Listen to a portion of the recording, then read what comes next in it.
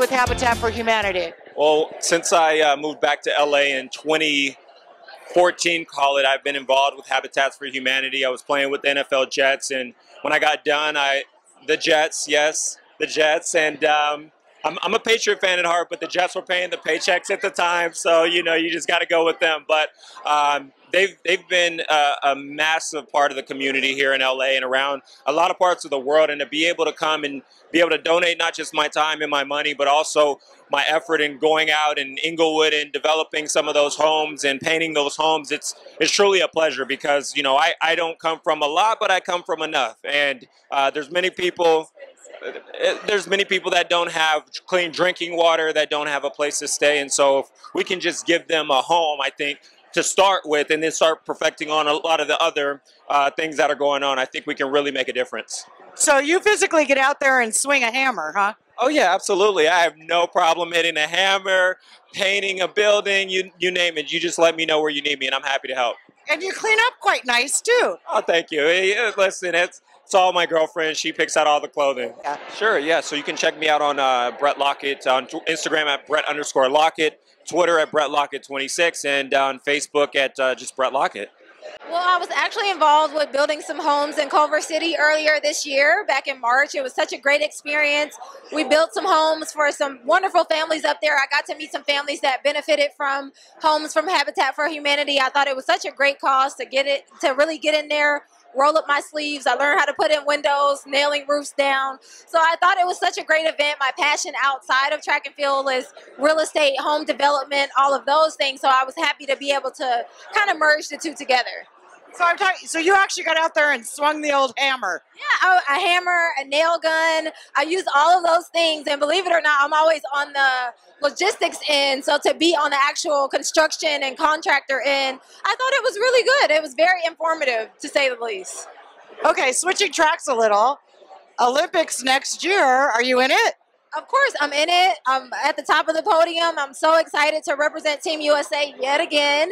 The Olympics is always a great thing. It brings all of us together, and I'm just excited now to have such another great organization that I can represent as well.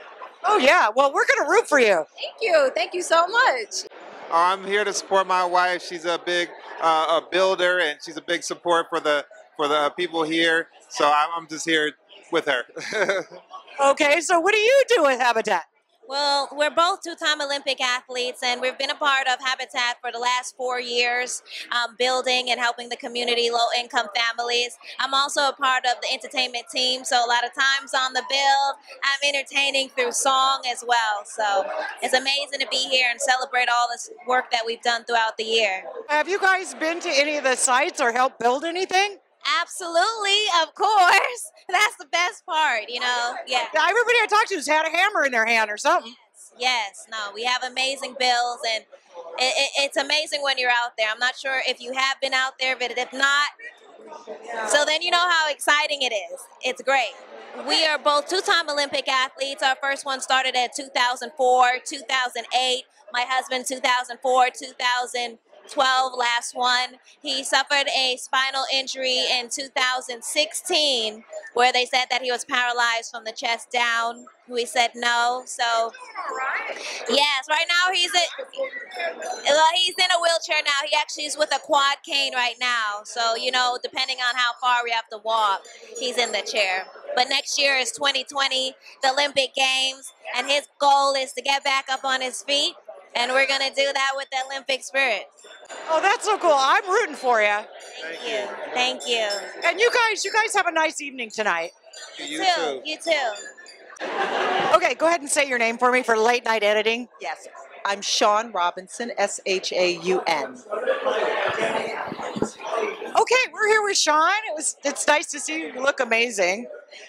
What? How did you get involved with Habitat for Humanity? Well, Glenn and Joanne are friends of mine, and I find them to be incredible philanthropists, people who give back to those less fortunate. I've seen the wonderful work that they've done with Habitat for Humanity and helping uh, the people of Greater Los Angeles. And so, anytime they ask me to come out and support, I'm there. Oh, that's amazing. So, what do you have coming up when you're not doing all the charitable stuff?